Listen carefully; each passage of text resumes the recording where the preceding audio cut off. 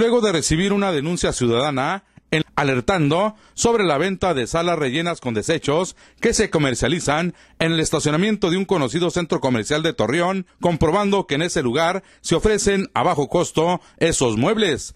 Al entrevistar al vendedor, quien se identificó como David Ávila Martínez, negó que los sillones que comercializa de manera informal estén rellenos de residuos en vez de una espuma o esponja, aunque reconoció que otros sí engañan a los compradores. ¿Cuánto anda el juego de sala? En 3.500.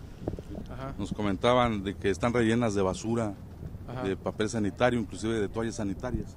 Mm, bueno, lo que pasa es que viene gente de fuera que vienen a hacer con ese tipo de, ese tipo de negocios, pero pues una sala que te cuesta 2.000 pesos, 1.500.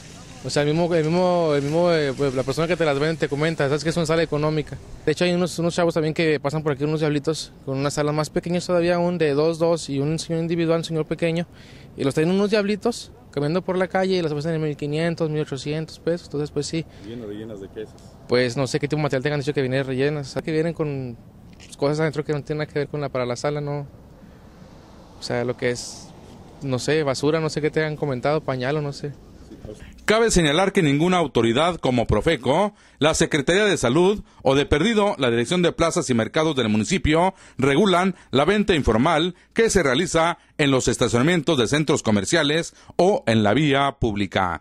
Con imágenes de Ricardo Hernández para Laguna Hoy Informa, Alfonso Hernández.